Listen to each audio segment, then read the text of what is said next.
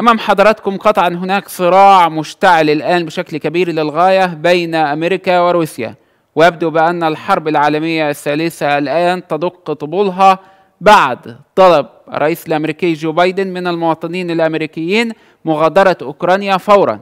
نفس الكلام بالنسبة لبريطانيا التي طلبت من رعاياها مغادرة أوكرانيا فورا. حتى العراق طلبت من رعاياها مغادرة أوكرانيا فورا.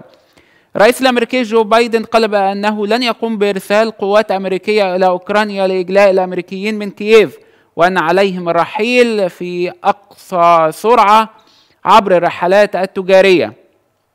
ويبدو بأن هناك رسائل استخباراتية تشير إلى اقتراب الهجوم الروسي على أوكرانيا لأنه هناك حشد روسي كبير من القوات على الحدود مع أوكرانيا أكثر من مئة ألف جندي روسي هناك. هذا الأمر يدلل على أن هناك تطورات كبيرة للغاية في تلك المسألة.